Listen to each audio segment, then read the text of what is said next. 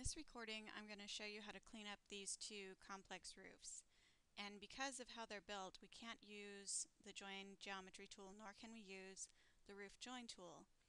And you can see we've got a couple things going on. Um, the first thing is we're actually offset here from the other roof and this is supposed to look like a smooth transition so it's supposed to be in line with the other roof. So the first thing we need to do is fix that.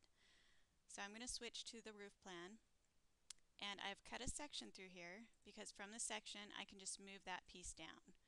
So if you select it and then just use your move tool, so don't nudge it, don't eyeball it, accurately move it from point to point.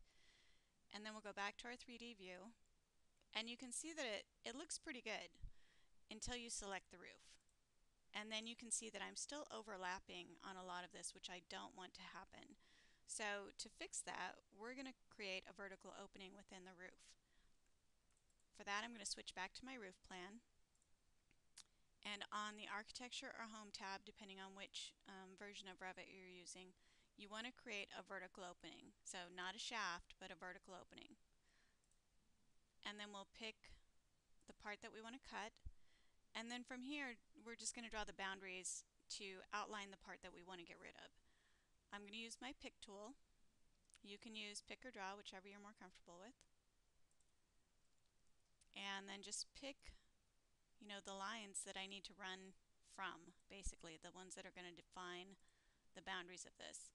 And I know this looks like kind of a mess right now, um, but we'll just trim it up and then we'll go around